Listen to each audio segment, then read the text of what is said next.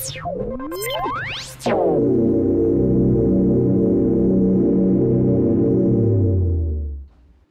thanks for watching. This is Spencer with Computer Advantage, and we're here today to talk about iDevices. iDevices have uh, quite a few different products for your smart home, and they all work with Apple's HomeKit, along with other services like Amazon Alexa, but we like to focus on HomeKit here.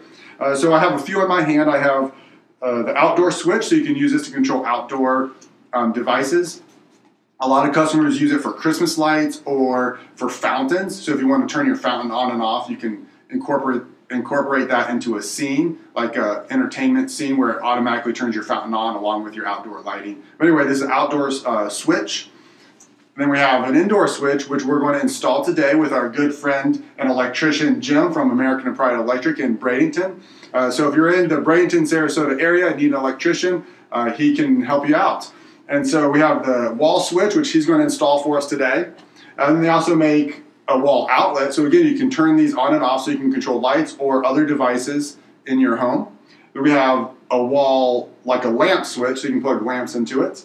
And then we have a socket to plug into an existing lamp, and then that gives you additional color and control of that lamp. So you can have color accents along with your normal bulb in there. Uh, and so great options, you know, the outdoor switch and the regular switch are great options if you don't if you're not comfortable opening up your wall and doing wiring or if you don't want an electrician to come and do the work. But if you want something that's very seamless and very elegant the in-wall installations are great. And again if you're not comfortable doing this kind of work yourself hire a licensed electrician like jim and they can take care of it for you. So we're going to go ahead and let jim get started with installing our switch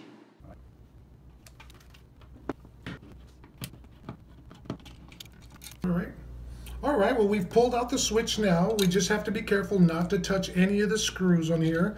And we take our little trust, uh, little trusting tester and we find out which is our line and our load. So our bottom is giving us our signal, so we know that's our line. And at this time, it's going to be a good idea to go ahead and shut off the breaker and kill the power before we start any further. All right, well now we've got the switch pulled out of the wall and we've identified which is our line and load so we can, we got our power turned off, we can go ahead and start disconnecting the, uh, the wires at this time to get our uh, iDevices wall switch installed. So we just take apart the ground and we get our ground taken off and we get our neutral taken off, our, uh, our load and our line off the switch so we can get our, get our iDevices switch installed. And it's very important to just make sure we have all the power turned off at this point so that there's no issues. We'll need to get the ends of our wire straightened out. Our iDevices uh, wall switch will go in with wire nuts so we won't need to wrap these screws around um, with the wires like we did the old the old-fashioned kind. So now we'll straighten out the ends of the wires and for our iDevices, we'll need our line, we'll need our load, we'll need our ground, and we'll need a neutral wire for the, to make the switch completely operable. So we have to make sure we have those four things ready and handy. So then we have our switch here, and we are going to connect it in the order of our grounding first, then our neutral, then our load, and then our line last. Sure you get a good twist on the wire nuts. We don't want them coming off.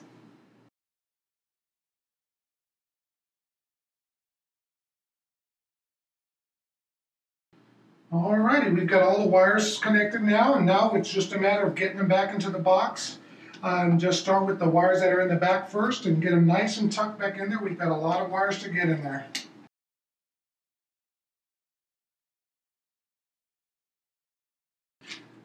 We'll go ahead and get that screwed in. Lastly, we'll get our plate installed and the installation of our iDevices wall switch will be complete. All right, well, thanks, Jim, for getting our iDevices switch installed. Uh, so at this point, you want to go turn your circuit breaker back on, which we have done. And so now we can just make sure it works. So we're just going to turn it on. Our light turns on. You can't see the light in the video. Um, and I'm just going to turn it back off. And so now uh, we're going to let Jim go do some other lights, and we're going to walk you through setting it up inside the iDevices app and adding it to HomeKit. So right within the manual for the iDevice wall switch it tells us how to get into Wi-Fi pairing mode. So we're going to hold down button six for five seconds, and when it flashes blue, we're going to hold down uh, or just tap button number two, and they give us the numbers right here. So everything's laid out really nice. So I'm going to hold down that button. The light starts flashing blue. I'm going to let go, and I'm going to tap that button. Now we are in Wi-Fi connection mode, pairing mode. So now we can go back to the app.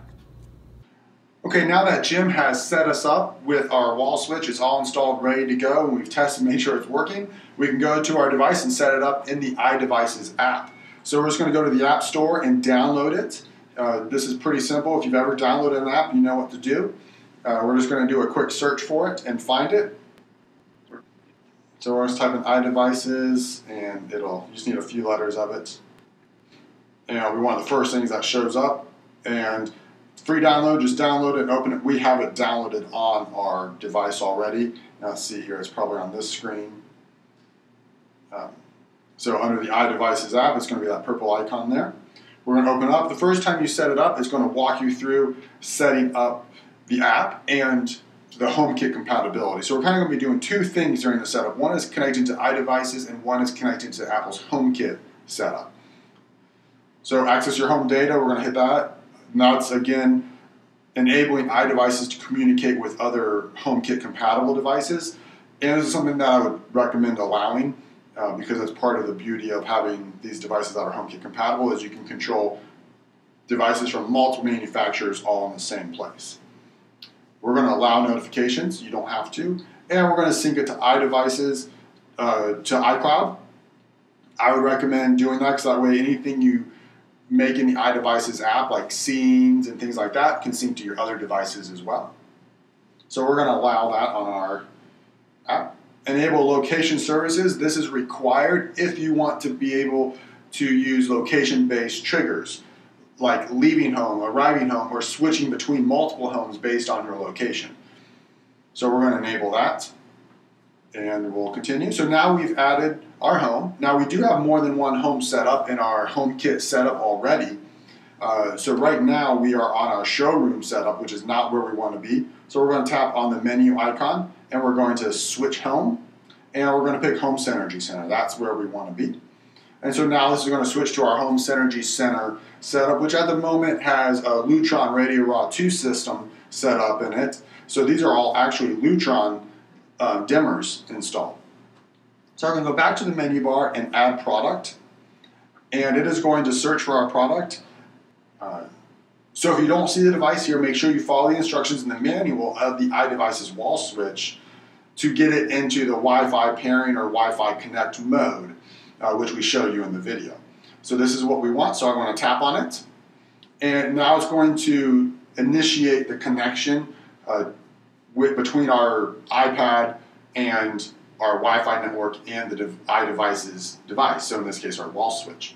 So this can take, you know, usually up to a minute. It's going to connect to your Wi-Fi network, and it's good to point out that if you have multiple Wi-Fi networks or like extenders that have like a different uh, network name than your main network, make sure your device, your iPad or iPhone during setup is connected to the network you want your device to connect to. So if it's on one end of the house that has uh, the extension on it or something like that, make sure you're connected to that network during the setup process. So we are connected to the right one. I'm just going to give it a name wall switch for right now. Just make it a little bit easier. So tap on next. And so now it's actually going to send my Wi-Fi credentials to the wall switch. And again, this process can take usually less than a minute, but give it a couple minutes if necessary.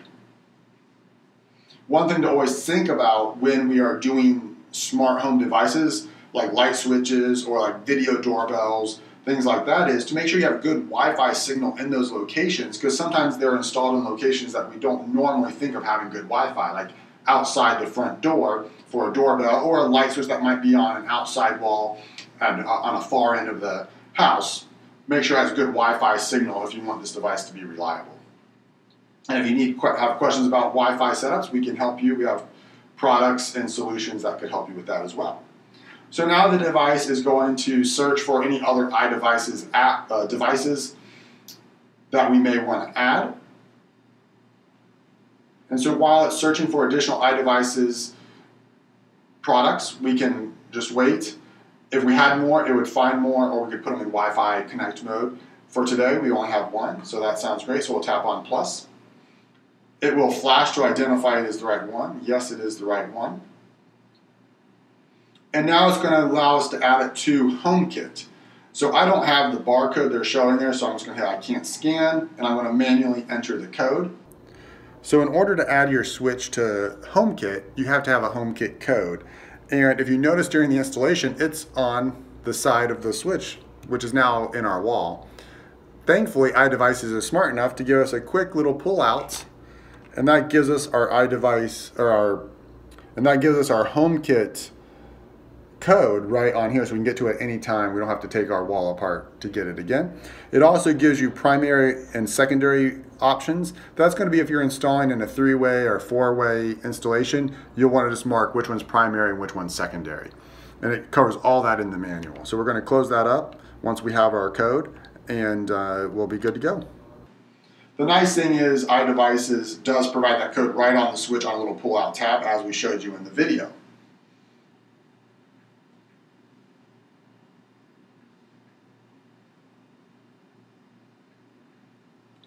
Connect. And so now I'm adding this to the HomeKit app. So now I need to give it a name how Siri will recognize the wall switch. So we're really doing two things at once. So I'm going to give it a name. Oh, I don't want to give it a custom name. Okay.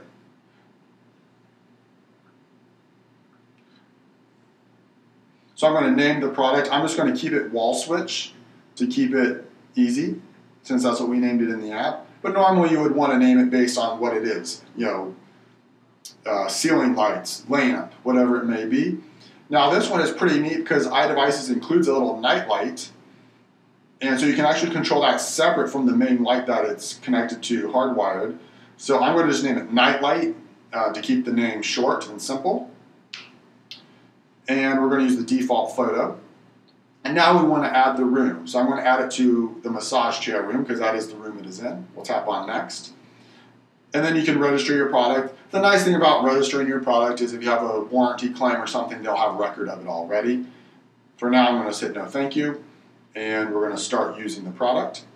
So now if I go to massage chair room, we can see that we have that wall switch. It is currently turned off. So if I turn it on, it turns on just fine and we can turn it off. So now I just want to briefly touch on using the Apple Home app to control the iDevices in wall switch. So now that we have iDevices set up, I'm going to go to the Home app and take a look at what it looks like in here. So we're in here. We can see that our massage chair nightlight is here and our massage chair wall switch is here. So I can turn it off and on. And I can adjust the level of the, of the nightlight, which is pretty neat. So if you want a little bit of light in your room at night, but not a lot of light, you can control that. So now what I want to do is add it to a scene. So I'm going to go to the good night scene, and I'm going to hold down and then tap on details. And this will let me control what's in this scene. So I'm going to go add and remove accessories. I'm going to add the night light and the wall switch. Then we'll hit done. And now it lets me tell what I want to do with those. So the night light, I want, just say we'll want that at 100%. If I hold down, I can also change it, but at the bottom, I can go to color. I can actually change the color of the night light, which is pretty neat. I'm just going to leave it, the default is purple, that's fine for now. And then, so I want to make sure the night light is on, but then I want to turn off the light because we're going to bed, right? So we'll hit done. And so now when I tap on good night, it turns off the main light in the room and it turns on the night light. All right, let's see if Siri will uh, turn off our light for us. Turn off the wall switch. Okay, the wall switch is. Wall switch, sorry, I cut you off, sir. I'm sorry, I didn't mean to do that. Turn on the wall switch. Turns it on. Demo. You got it. Thank you, Siri. All right, so once you have HomeKit set up, we can now go to any device that's tied to our Apple ID or has been invited to our home and control it. So I'm just going to hold down the button and tell Siri goodnight. Good night. And so you can see it turns off the lights and it turns on our little night light. So we're in good shape. We're ready to go. So we can come through and we can actually turn the nightlight on and off, and then we can hold down in the app and adjust the brightness and the color. So you can see I can actually change the color of the nightlight.